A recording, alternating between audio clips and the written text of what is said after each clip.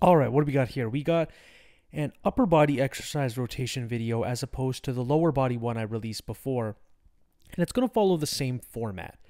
So for max effort, you're going to want to have similar motor patterns to repeat and come back to that change just enough to where you're rotating an exercise, but the motor pattern is fairly simple. So grip changes, bands, chains, Larsen press, legs up. Then that's you'll have a bunch of flat variations. Then you can have some incline and some shoulder variations, such as push presses with different bars, incline benches at different angles. You could do seated pin presses off of pins at various heights.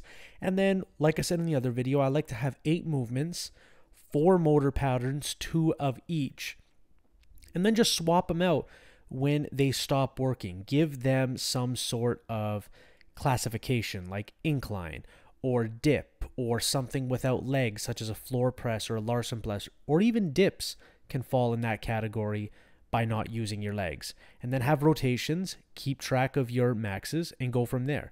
Then we have rotations with speed work. Now, a big problem people run into with speed work is they're only doing flat bench and then just bouncing back and forth with bands or chains. But if you're not a power lifter and that doesn't meet your goals, you can do other things, such as pin presses, as you see here. Pin presses are actually very hard because you're not getting that over speed eccentric and it's just pure, pure acceleration work. So you're not getting the rebound out of the bottom.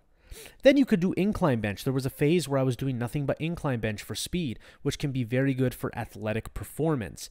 And then there was a, a point in time where I experimented with slow negatives off a low incline like you see in this video. So experiment a little bit with your speed work and rotate some things in.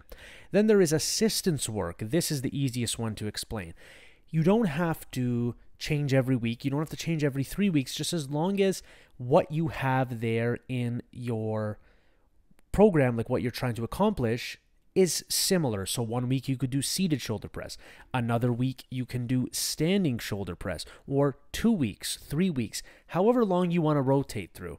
Then you could use different bars. Notice how this is the same motor pattern. They're all vertical presses to hypertrophy and strengthen the shoulders. Then we have some chaos band pressing.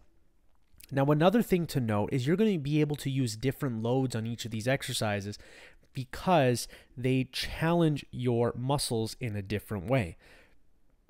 So you're definitely not going to use a bunch of weight on the chaos band presses as you would a standard press. So it's a way of auto-regulating your training and not going hard all the time.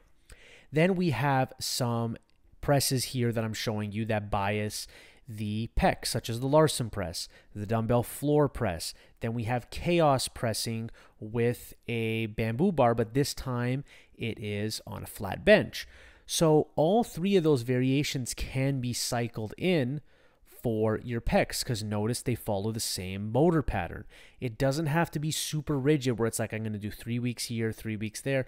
No, you see what you feel like. Milk exercises keep them in as long as you can, but also come back to them, swap them out, bring them back in, and progress from there. You saw some push up variations, and now you're going to see a whole bunch of back variations, such as barbell rows with the Rhino Bell bar.